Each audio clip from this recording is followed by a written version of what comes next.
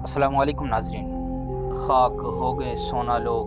بر صغیر کی عظیم روحانی شخصیت پیر مہر علی شاہ صاحب کے پوتے۔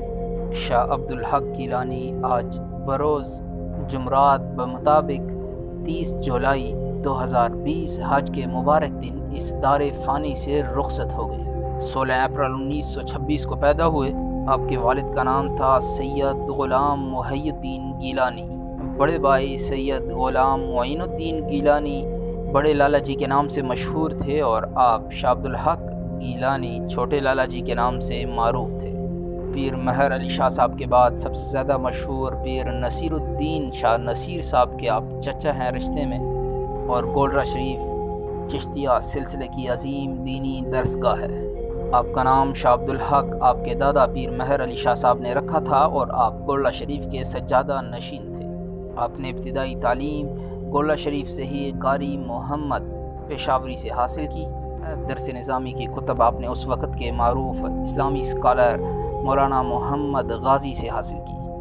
جامعہ عباسیہ بہاولپور کے پرنسپل آپ کے والد کے دوست تھے، آپ نے مزید تعلیم کے لیے ان کو وہاں بھیج دیا۔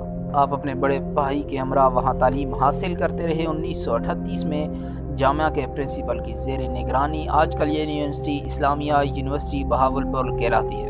بہاولپور میں سات سال کے عرصے میں تعلیم مکمل کی اور دوبارہ گولڈا شریف تشریف لے آئے۔ آپ کے والد غلام محی الدین کے گزر جانے کے بعد آپ دونوں بھائیوں پر درگاہ کا انتظام تھا۔ بڑے بھائی کی وفات پہ سارا انتظام آپ کے کندھوں پر آ چکا تھا۔ آپ کے ہزاروں کی تعداد میں ملک پاکستان میں مریدین تھے۔ کافی عرصہ سے آپ علیل تھے، آپ لوگوں سے نہیں ملا کرتے تھے، بلکہ آپ کے کمرے کے باہر ایک شیشہ لگا ہوا تھا اور تین ٹائم لوگ اسے آپ کی زیارت کیا کرتے تھے۔ تیس جولائی حج کے روز یہ خبر آئی کہ آپ انتقال کر گئے، آپ کے مریدین کا تاندہ بن گیا۔ سارے گولڈا شریف جانا چاہتے تھے۔ اعلان کیا گیا کہ اثر کے بعد آپ کا نماز جنازہ ادا کیا جائے گا۔ ملک بھر کے معروف سیاسی، سماجی اور مذہبی حلقوں نے تعزیت کا اظہار کیا اور آپ کی خدمات کو سراہا۔ وزیر مذہبی امور نور الحق قادری نے بھی آپ کی خدمات کو سراہا اور کہا، ان کے خلا کو پر کرنا مشکل ہے۔ نماز اثر کے بعد ایک انسانوں کا سمندر تھا جو امنڈ آیا اور آپ کے جنازے میں شرکت کی، لوگوں کی ایک کثیر تعداد تھی جو آپ کا دیدار کرنا چاہتی تھی۔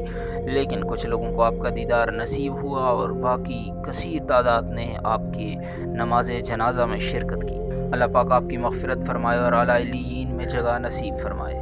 مزید اپڈیٹس کے لیے ہمارے چینل کو سبسکرائب کر کے بلکہ آئیکن کو ضرور پریس کریں، ہم آپ کو باخبر رکھیں گے۔ کمنٹ بار میں اپنی رائے کا اظہار ضرور کیجیے گا۔ اللہ حافظ۔